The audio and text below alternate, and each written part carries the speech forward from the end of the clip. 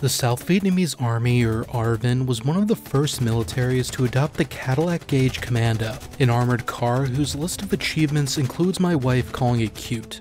In 1963, the US Advanced Research Projects Agency, later rebranded as DARPA, purchased two of the brand new V 100 Commandos and sent them to South Vietnam for evaluation. This 4x4 combat car could be equipped with either two M1919 or M37 30 cal machine guns, as per the original tables of organization, but could also be converted for one 30 cal and one 50 cal to bolster its firepower. ARVN liked what they saw and began widespread adoption in 1965 via USAID. It was classified the XM706 I wanted to know about how South Vietnam used the commando, and luckily, someone slid into my Instagram DMs and sent me a bunch of original ARVN organization tables. I've uploaded some of them to my site, including almost the entire ARVN Airborne Division linked below. One use case for the commando was the Regional Force Mechanized Platoon. These were platoons of six commando armored cars and a one ton truck, plus two elements of dismounted cavalrymen. The truck was a Dodge M601, which was a version of the civilian Dodge Power Wagon made for export to foreign militaries. For anyone curious, when Congress was thinking about sending more gear to South Vietnam just before its collapse, the unit cost of the Commando was listed as $52,875 or $301,000 in 2023. By comparison, an M48A3 Patton at the time was $280,000, equivalent to 1.6 million in 2023. The mechanized platoons were mainly for conducting rear area security and maintaining lines of communication. This entailed escorting convoys, clearing and patrolling roads, and acting as mobile guards for bases. Doctrinally, one regional mech platoon could provide security for 45 kilometers or 28 miles of road. About 49% of missions involving the commando and their US Army unit were convoy escort missions, while 15% were road patrols and 13% were base defense missions.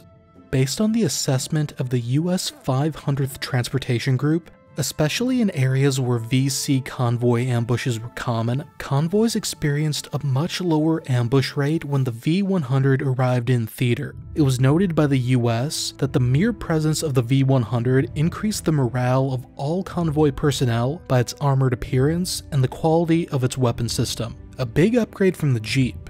Thanks to their armor resistant against small arms, mobility, and relative firepower, commando units could also reinforce isolated outposts under attack or conduct small-scale attacks themselves. Although for this, they'd ideally be reinforced by one to two infantry platoons as their dismount strength was limited. This mission set was essentially half of the traditional US Army military police purpose, but the Regional Force Mechanized Platoon lacked other MP duties, like holding enemy prisoners of war and law enforcement in garrison. In the Regional Force Mech platoons, troopers also had cavalry designations. The French formed many of ARVN's precursor units in the 1950s, so influence would make sense. The main purpose of the regional force was to free up regular combat units to carry out offensive operations, during the war, South Vietnam was split into four corps tactical zones in the capital military district. They served a dual function, serving both as operational headquarters and civil administration. Under one hierarchy, the Corps commanded ARVN operational forces like infantry divisions and brigades. But Corps commanders also initially appointed the nation's 44 province chiefs, who were nominally colonels in the army. Each province chief controlled a regional force sector charged with territorial defense duties within their provinces. The regional force was the province wide force, while the popular force was basically a static militia for defending individual villages. Both types of units would often be placed under the control of a subsector, which was under the control of a district chief, nominally a major. As of 1965, each regional force sector was intended to have one mechanized platoon. Each regular Army Armored Cavalry Squadron also had an identical Scout platoon from 1967, although in practice, these armored cars weren't under the squadron's own control. They were more or less introduced to conduct convoy security missions to free up the bulk of the armored force, which was mounted in M113s, to conduct combat operations. At the basic level of the platoon was the combat section. From 1965, each section had two XM706 armored cars, the Cadillac Gauge Commando, but in earlier TO&Es from 1963, they had one Canadian 1500 weight armored truck and one Lynx scout car with an unarmed cupola. These were among the many World War II era vehicles left behind by the British when the French reoccupied Indochina. The armored truck was for carrying the infantry component of the platoon, but with the commando's adoption, they were split evenly. Each car was crewed by a car leader, one of which would be the section chief, a gunner for the twin 30 cals, and a driver. Between the two cars, eight cavalrymen would also be carried in each section. This included two so-called chiefs of cavalrymen, one of which was actually armed with an M1918A2 BAR, as well as an assistant BAR man and five cavalrymen, as well as a single M79 grenade launcher among the section. At this point in 1965, ARVN was using World War II surplus like the M1 Garand and M2 carbine.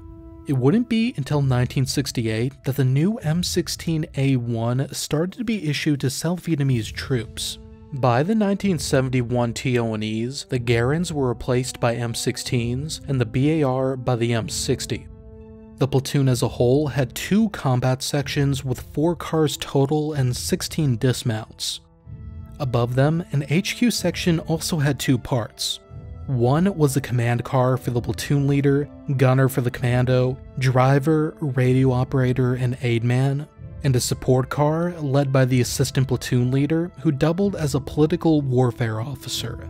Conceptually, the office was almost identical to a communist political officer, directly copied from Chiang Kai-shek, who in turn was inspired by the USSR system in the 1920s. Both South Vietnam and Taiwan were military dictatorships in the mid 1960s. The Pol War officer was essentially a mix of a morale officer, ideological educator, civil affairs, loyalty enforcer, and also tactically a second in command. But aside from that, the support car had a 60mm mortar team with a team leader, gunner, loader, and ammunition man. And to round it off, the one ton truck likely carried a mechanic and mechanic helper.